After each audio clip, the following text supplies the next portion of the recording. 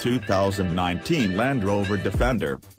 This week at the LA Auto Show, Land Rover Chief Creative Officer Gerry McGovern told an Australian publication that the new Defender, which is definitely coming, would be polarizing and that the fan Defender diehards might not get the visual link to the past they're hoping for.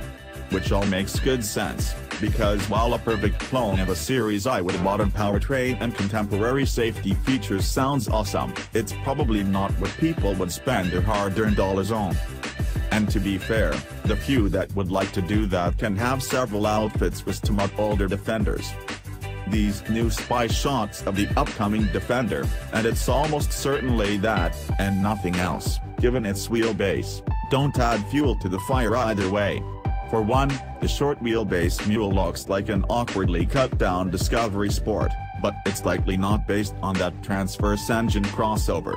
It does feature independent rear suspension that appears unique, although it's hard to tell without peeking underneath ourselves.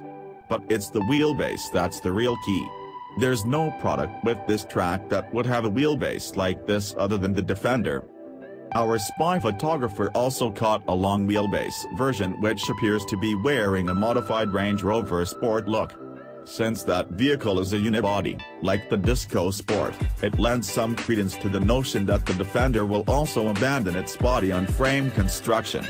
After all, the big Range Rover makes it work. It probably won't look like either of these. It also probably won't look much like the Defender Concept 100, according to the company itself.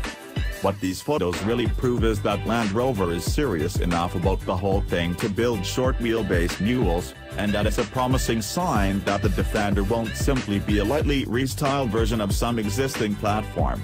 Which would be a crying shame. The thing about the old Defender was, it wasn't just capable, it was supremely rugged. Land Rover wraps all its vehicles in a mantle of capability now, even the crossovers.